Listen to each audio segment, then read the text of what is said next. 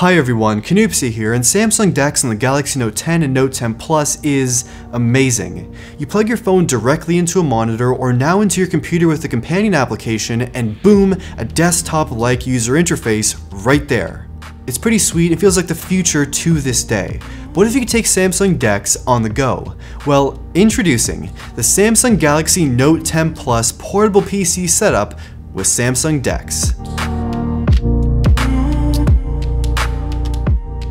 So the Samsung Galaxy Note 10 Plus, the most beautiful, powerful, and most functional Samsung device yet. I actually made a full review on this phone where I talk about how it's an amazing device for creators because of the camera, the S Pen, some of the software features. This is really a killer device overall. On the back of the phone I have this beautiful skin from our channel sponsor Dbrand, link in the description, and this skin comes in handy for more than keeping your phone fingerprint and scratch free. It's part of the setup, you'll see why shortly.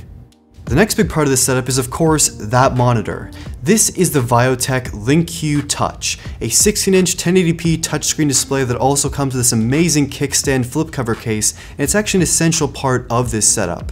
And the display itself looks pretty excellent. Colors look nice, it could be a bit brighter but it's still definitely usable, and the touchscreen is very responsive.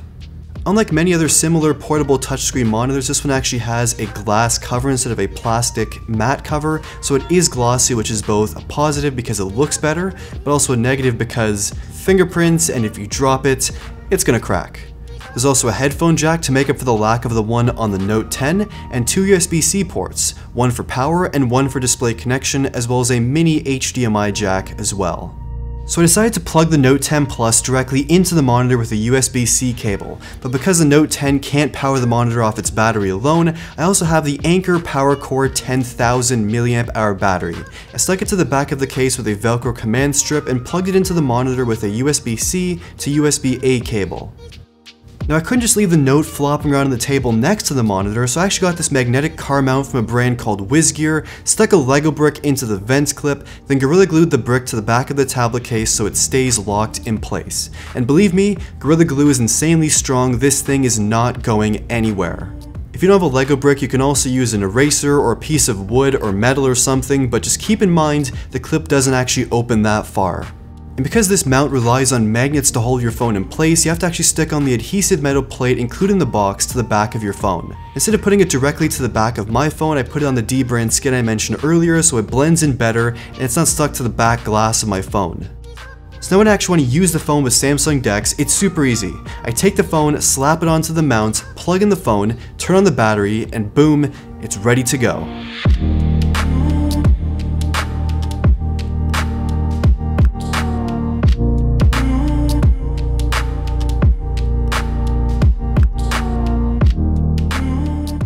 Now because the Note is more of a pro device, I decided to go with some pro high-level peripherals.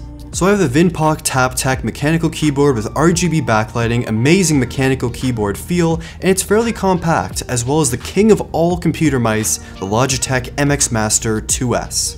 Both of these are amazing, and I actually use these exact peripherals with my main computer setup as well.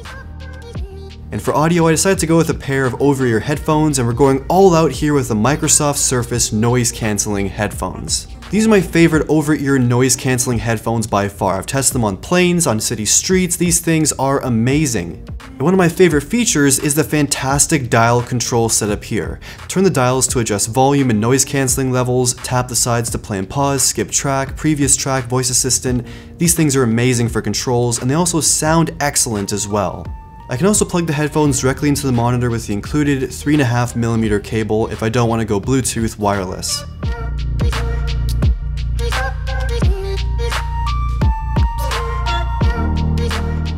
So that's the setup, but what can you actually do with it? Well, basically everything you could do on your phone and more on a bigger touchscreen with a desktop user interface. You can open your apps, files, and photos, multitask. It's pretty damn cool having all these floating windows in action at the exact same time.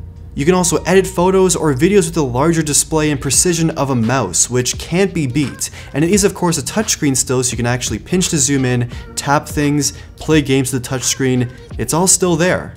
You can also play some games decently well with the mouse and keyboard, or ditch those accessories altogether and switch to a Bluetooth controller and gaming on a bigger screen with your phone. It's pretty awesome. In the future, you're going to also be able to likely run Linux as well, since most of the past devices do actually support it, it's only a matter of time for the Note.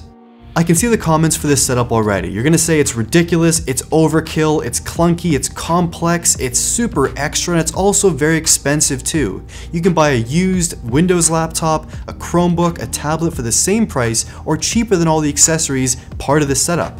And plus, it's probably gonna be much better built as well. I saw the criticism in my previous Galaxy S10 Plus setup video and I totally understand why this doesn't make any logical sense. I get it. But this is sort of a rough vision or a concept of the future of computing, where you use your phone as your main computer as well. Samsung DeX is definitely ahead of its time. It's really not that useful right now and people don't really see it as a serious way to do any sort of computer work. But believe me, I'm saying it now, it's going to be the future of computing, where your phone is everything. If for some strange reason you still want to actually make this crazy Note 10 Plus PC setup for yourself, links to all the parts and accessories in the description down below. The mouse, the keyboard, the monitor, all those things, they're all there. And tell me in the comments down below what you actually think of this setup. Could you use it as your main computer, or is it the most ridiculous, stupidest thing you've ever seen? Tell me in the comments, and thank you for watching.